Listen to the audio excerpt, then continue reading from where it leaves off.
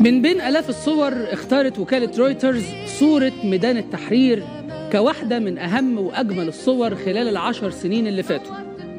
جمال الصورة وأهميتها مش بس جاي من حرفية المصور اللي قدر يعبر بصورة عن ألف كلمة ممكن تتقال في ثورة يناير لكن كمان لأنها كانت بتعبر عن حلم واحد من أجمل أحلام الشعب المصري في تاريخه الحديث. حلم اتولد من قلب ميدان التحرير وفضل يكبر قدام عيون المصريين على مدى 18 يوم متواصلة. عاشوا فيها أجمل لحظات عمرهم. شافوا قوتهم لما بيتحدوا وشافوا عزيمتهم لما بيتجمعوا وإزاي قدامها بتنهار أي محاولة لإخضاعهم. وزي ما عشنا الحلم وهو بيتشكل عشنا الحلم وهو بيتبدد. شفنا طيور الظلام وهي بتتسحب في الضلمة علشان تجهضه. وتنقض عليه بالتآمر والخداع. شفنا لصوص القوت وهم بيفرقوا ما بين الشعب وحلمه. شفنا إرادتنا وهي بتتسرق قدام عينينا وتنداس تحت البيادة. وبعد ما شفنا الفنجري وهو بيدي التحية لأرواح شهداء يناير. شفنا السيسي وهو بيدي الأوامر لقتل معتصم رابعة لكن كل اللي شفناه ده كوم واللي هنشوفه دلوقتي كوم تاني. دمياط ما عندكمش حلم هي الناس بطلت تحلم ولا إيه؟ الناس بطلت تحلم. إيه بتوع دمياط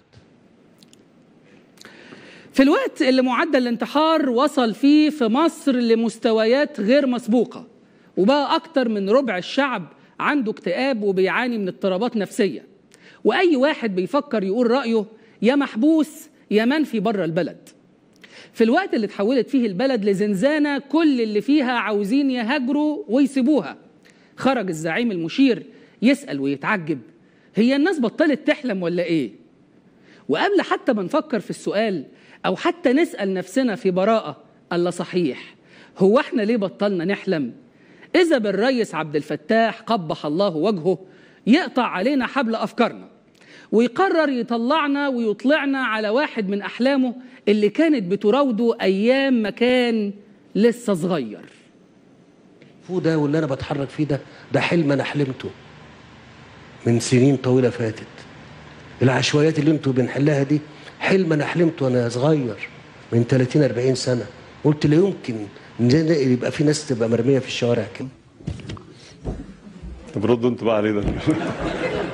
طبعا إحنا بنحلم يا عبد الفتاح يا سيسي إنك تغور في 60 داهية تاخدك النهارده قبل بكرة. ده الحلم اللي هي نفسها تقوله لك ولا أنا بقوله لك؟ والشعب لكن من بين كل الكلام عن الأحلام والأوهام قال السيسي كلمة في حق المصريين ودي بقى لازم نسمعها. لأن اللي قاله المرة دي بجد صحيح مية في المية. وأنا من مكاني هذا بدعو المئة مليون مصري إنهم يسمعوا الكلمة دي ويحطوها حلقة في ودانهم. عايزة تغير. الناس قاعدة تتفرج وتبص وهي ساكتة. محدش بيغير المنكر ويرفضه. الكلام مش مجتزأ من سياقه ولا مقتطع بشكل متعمد. السيسي فعلا قال كده. فعلا لام على المصريين إنهم ما بيتحركوش عشان يقوموا بلدهم ويغيروا المنكر. عشان كده إحنا بنضم صوتنا لصوته وبنقول له إن أول منكر محتاجين نغيره هو سيادتك. أنت وكل أفراد العصابة اللي بتحكم وياك. وده باختصار لأنه سيادتك أسوأ حاجة ببساطة حصلت في تاريخ مصر من أيام الفراعنة لحد النهارده. فأسمج منك لم تر قط عيني وأحقر منك لم تلد النساء. والحلم اللي انت طيرته من عينينا ما ماتش زي ما انت فاكر. ولا المصريين بطلوا يحلموا. المصريين بيحلموا. بيحلموا باليوم اللي هيعلقوك فيه انت وعصابتك على أعواد المشانق. بيحلموا باليوم اللي يستردوا فيه وطنهم اللي نهبته وبعته للي يسوى واللي ما يسواش. بيحلموا بيناير تاني من جديد. يرجع أمجادنا ويجمع قلوبنا تاني على مصر بلدنا اللي بتجري في عروقنا. إحنا لسه بنحلم وقريب قوي بعون الله هنحقق الحلم.